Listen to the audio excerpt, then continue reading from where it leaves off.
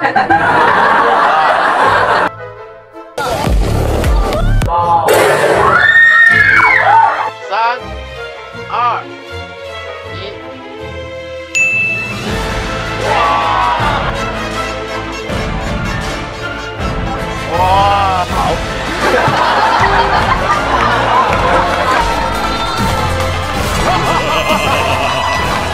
旁白哥抱抱魔法物理老师教玩火触电，收服近一百七十万信徒追踪。没有灵魂的声音，哆瑞咪发嗦拉西，注入灵魂的声音。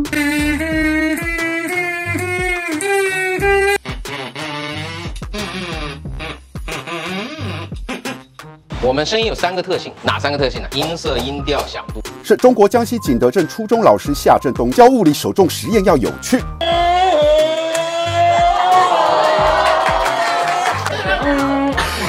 他让上课变好玩，学生无形中全记住了知识。好了，干冰啊，就是这个啊。我为什么要这样颠呢？因为这个东西啊，它特别冰，它有多冰呢？好好冰是多冰呢？零下零下七十八点五摄氏度啊啊！我现在是上的不是物理课了啊，是是仙术课啊。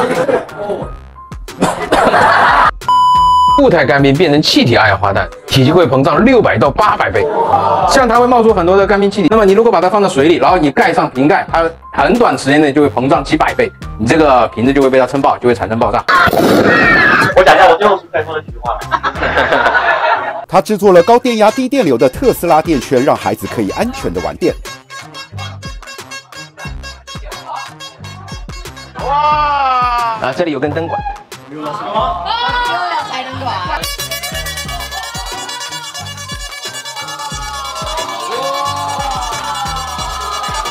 这个灯管的内侧抹了荧光粉的，紫外光照射荧光粉就会让这个荧光粉发光。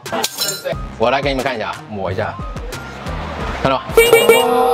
哎，每次拆灯管也不是办法，他与时俱进，研发出魔法杖啊！拿着，执杖人哈，我知道，好吧，我知道。直杖好。